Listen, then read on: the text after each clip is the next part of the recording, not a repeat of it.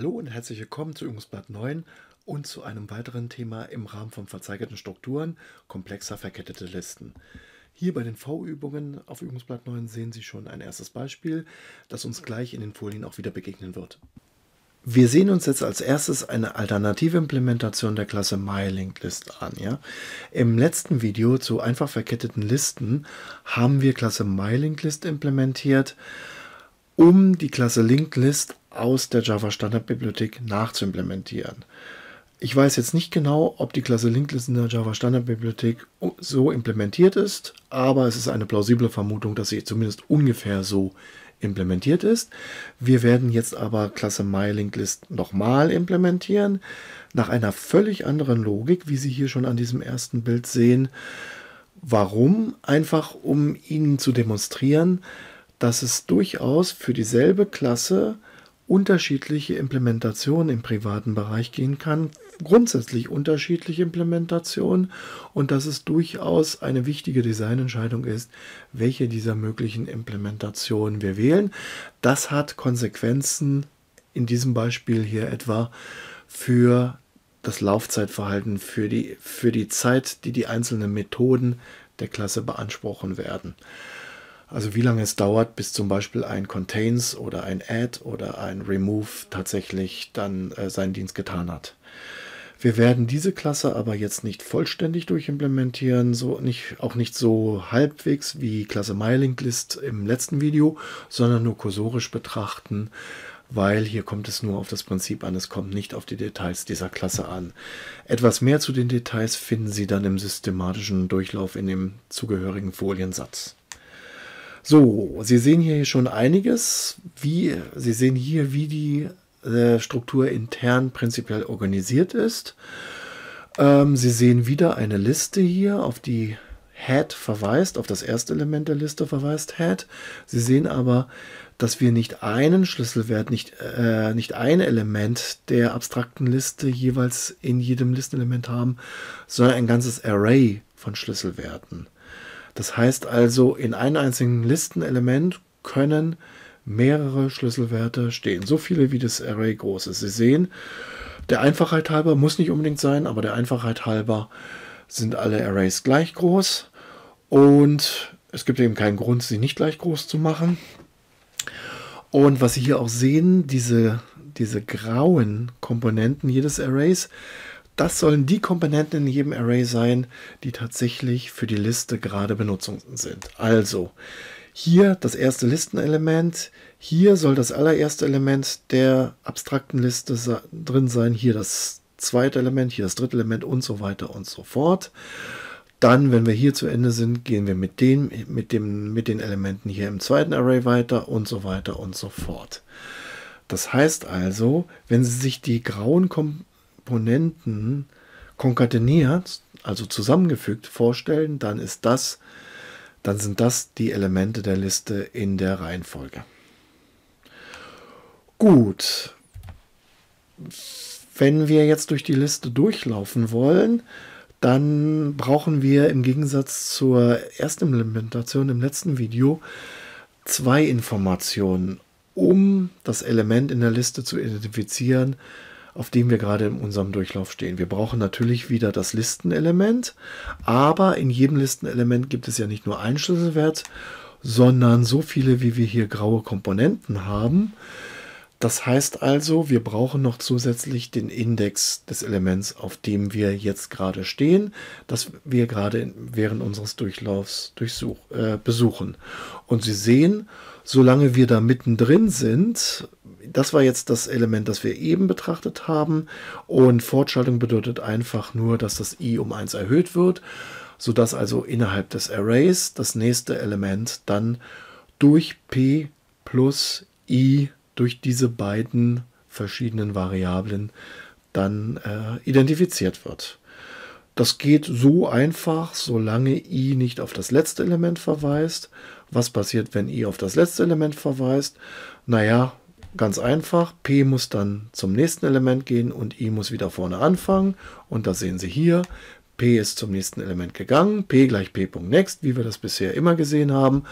Und I fängt dann in, der, in, dem, in dem Bereich der, in diesem grauen Bereich der tatsächlich verwendeten Array-Komponenten dann wieder vorne an. Und dann geht es so weiter, wie wir es eben auch gesehen haben. Nach dem Index 0 geht es dann weiter mit Index 1, mit Index 2 und so weiter und so fort. So, jetzt wollen wir ein Element einfügen und solange noch weiße Komponenten in diesem Array drin sind, solange also noch Platz im Array drin ist, um weitere Elemente einzufügen, ist das, äh, ist das Einfügen ganz einfach. Wir schieben alle grauen Elemente, die nach dieser Position, wo wir einfügen wollen, einfach eins weiter und dann fügen wir ein. Problem ist aber, wie Sie jetzt hier sehen, die Situation, wenn das Array voll ist und dann wollen wir eigentlich noch ein Element einfügen, genau an dieser Position. In dem Fall würden wir tatsächlich die Liste um ein Element erweitern. Da wo jetzt ein Element war, sind jetzt zwei Elemente. Wir verteilen vielleicht die einzelnen Komponenten des vollen Arrays auf beide Arrays gleichermaßen. Und jetzt sind wir wieder in der Situation, dass wir genug Platz haben im Array, um ein Element einzufügen und genau das machen wir dann auch. Entfernen eines Elements ist auch im Prinzip ganz einfach. Wenn ich dieses Element an dieser Position hier entfernen will, dann kann ich einfach das, das nächste Element hierhin kopieren, an die, an die Position, wo das Element entfernt werden soll. Das zweitnächste Element an die, an die nächste Position, das drittnächste Element an die zweite nächste Position und so weiter und so fort. Problem ist auch hier wieder die Situation, die, der Randfall. Wenn jetzt der umgekehrte Randfall, beim Einfügen war natürlich der Randfall der, dass das Array, in das wir einfügen wollen, voll ist. Jetzt ist der Randfall der, dass das Array, wo wir einfügen wollen, leer ist. Und was passiert dann? Dann wird einfach dann, dann wird einfach dieses Listenelement mitsamt seinem ganzen nunmehr leeren Array aus der Liste ausgekoppelt, wie wir das bei der einfach verketteten Liste gesehen haben, wie das funktioniert. Gut, damit haben wir diese alternative Implementation der Klasse Linked List so weit betrachtet, wie wir sie hier betrachten wollen. Wie gesagt, weitere Details finden sich im systematischen Durchgang durch den Stoff in dem entsprechenden Foliensatz. Hier gehen wir jetzt auf das nächste Thema über. Doppelt verkettete Listen. Es ist manchmal sinnvoll oder notwendig, dass wir durch eine Liste nicht nur von vorne bis hinten durchgehen können, sondern auch genauso gut von hinten bis vorne durchgehen können ja bei einer Liste, bei der wir in manchen Situationen von links nach rechts und von anderen Situationen von rechts nach links durchgehen wollen. Und da bietet es sich natürlich an, das zu tun, was Sie hier auf diesem Bild sehen, nämlich nicht nur einen Next-Verweis zu haben, der auf das nächste Element verweist, sondern genauso gut einen Verweis, der wird meistens Previous oder Back oder Back-W für Backwards genannt der dann auf das jeweils vorhergehende Element verweist. Also wenn Sie so wollen, haben wir zwei Listen ineinander. Die eine geht von links nach rechts, die andere geht von rechts nach links. Und das sieht dann hier auch am Ende der Liste genauso aus, wie wir das bisher auch gesehen haben. Natürlich gibt es von null keinen Verweis zurück auf das letzte Element. Und hier beim am Anfang der Liste würde man hier dann auf, äh, auf äh, Null verweisen mit dem Rückwärtsverweis, äh, weil das ja das erste Element der eigentlichen Liste ist ja das letzte Element der umgedrehten Liste. Ja, am Ende der Liste würde man natürlich auch einen Einstiegspunkt wie Head reinsetzen, damit man gleich ans Ende kommen kann und vom Ende bis zum Anfang der Liste so durchlaufen kann, wie man das mit Head vom Anfang bis zum Ende machen kann.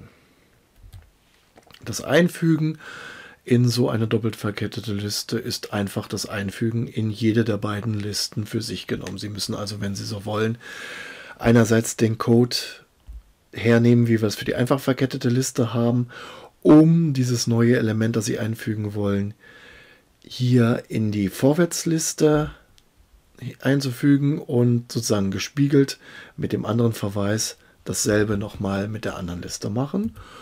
Und beim, Ein beim Entfernen ist es dann auch so, dass Sie das Element aus beiden Listen entfernen müssen. So wie wir das bei der einfach Liste gesehen haben, hier diesen Verweis das Element überspringen lassen und entsprechend spiegelsymmetrisch dann umgekehrt in der anderen Liste. Nicht unerwähnt bleiben soll zyklische Listen.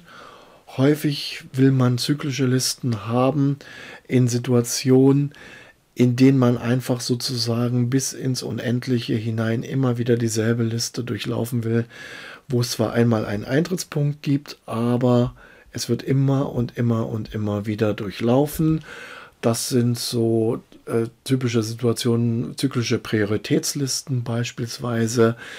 Denken Sie an das, was wir ganz am Anfang gesagt haben. Die Prozesse, die auf einem Prozessor im Computer laufen sollen, sind so eine zyklische Liste der, wo, wo ein Verweis immer auf das aktuell, auf, dem, auf das Element zeigt, dessen Prozess aktuell verarbeitet wird. Und wenn der seine Zeit aufgebraucht hat, dann geht es beim nächsten weiter, geht es beim nächsten weiter und so weiter und so fort. Und wenn es beim letzten Element, wenn das letzte Element fertig ist, geht es beim ersten Element wieder weiter. Also eigentlich gibt es gar kein erstes oder letztes Element oder so etwas. Es gibt einen Einstiegspunkt, aber ansonsten sind alle Listenelemente gleichberechtigt, ohne eigentlich eine Reihenfolge erstes, zweites, drittes Element und so weiter.